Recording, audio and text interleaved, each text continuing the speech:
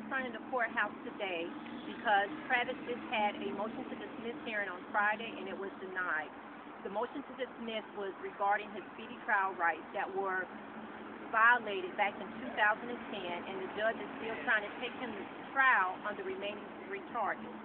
We are asking for anyone who can assist us in fighting justice for Travis Devon Swanson. My name is Sonya Holton, and I am marrying the movement for justice, long-term justice